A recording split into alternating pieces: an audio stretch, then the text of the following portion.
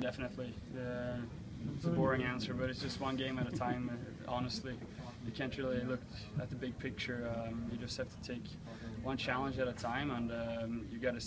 You can also see that you, we have I don't know maybe nine games here now for the Olympics break, and we just got to try to get as much points as possible for that. Second straight game